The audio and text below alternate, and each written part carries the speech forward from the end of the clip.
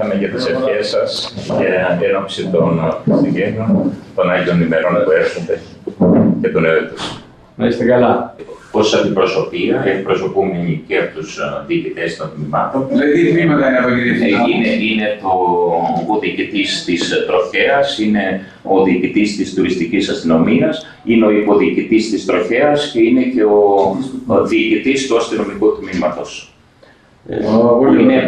ε, η ένστολη υποστηροπλίστων, γιατί υπάρχει και η ασφάλεια που είναι με πολιτική περιβολή και υπάρχει και το τμήμα δια- διαχείρισης μετανάστευσης, οι οποίοι αυτοί έχουν τα δικά τους θέματα εκεί πέρα, δόξα τω Θεώ και πολύ πράγμα. Πολύ ωραία. Και, ναι, και η- το αεροδρόμιο, το οποίο δεν μπόρεσε να έρθει, και, το, και η αντιμάχεια. Αλλά εδώ εκπροσωπούμε την έδρα της ΚΟΠ. Πολύ ωραία. Εμείς σας ευχαριστούμε για την δυνατότητα που δίνετε στον κόσμο να είναι εντός του νόμου και να τον προστατεύει ο νόμος, τον οποίο εξασφαλίζετε βεβαίως εσείς όσον αφορά την εφαρμογή του.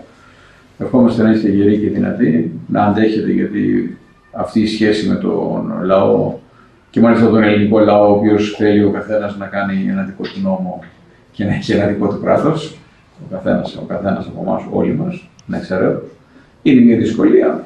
Φαντάζομαι τώρα ότι οι παραγωγικές σχολέ της αστυνομίας το λαμβάνουν αυτό υπόψη και τους εκπαιδεύουν κα, κατά έλελα τους καινούριου αστυνομικούς. Εμείς οι παλαιότεροι είχαμε άλλου είδου προβλήματα, δεν έχουμε. Να είστε γεροί και δυνατοί και χαρούμενοι πάντοτε να είμαστε κι εμείς. Ευχαριστούμε. Στην Ήθελα αφέση να, να σας ευχαριστούμε. θέλαμε να τονίσουμε και την ιδιαίτερη σχέση με ε, την Εκκλησία και με εσάς που την εκπροσωπείτε, γιατί πάντα το έχουμε ανάγκη.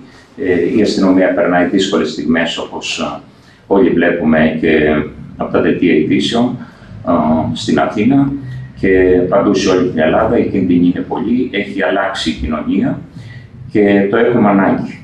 Και εγώ είμαι, ε, υπήρξα μαθητής εκκλησιαστικού λυκείου Λαμίας, οπότε έχω μια ιδιαίτερη σχέση και όπως λέω χαρακτηριστικά, τα δύο κείμενα που με χαρακτήρισαν ήταν ε, πριν φτάσω στο ποινικό κώδικα, στα χρόνια μου τα όρημα της ε, αστυνομίας, ε, ξεκίνησα την Αγία Γραφή και από τα θετικά κείμενα. Έτσι, με αυτό είναι, είναι κάτι που στερεώνει τον άνθρωπο. Δεν είναι, δεν είναι τίποτα, δεν είναι τυχαίο.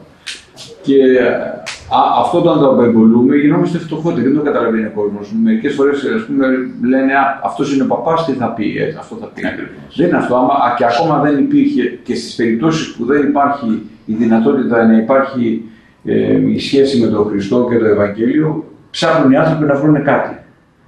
Καταλάβατε, Ακριβώς. γιατί κα- κάπου θα πρέπει να μπει ένα όριο. Αυτό που λέει πολύ ωραία στη γραφή, ότι ο Θεός έβαλε την άμμο για να είναι το όριο της θάλασσας.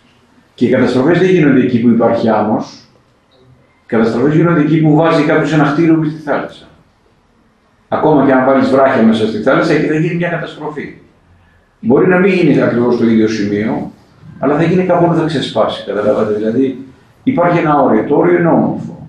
Και όταν το σέβεται ο καθένας, η ζωή γίνεται πιο ε, χαρούμενη, γιατί η χαρά είναι αυτό το σημαντικό που απαιτούμε σε μια ζωή, δεν είναι τα υλικά αγαθά. Τα υλικά αγαθά μπορεί να υπάρχουν, αλλά να μην υπάρχει καθόλου χαρά. Και αυτό που δίνει τη δυνατότητα της χαράς είναι η παρουσία του Θεού. Και η παρουσία του Θεού είναι αυτή που δίνει τη δυνατότητα στον άνθρωπο να σέβεται τον άλλον.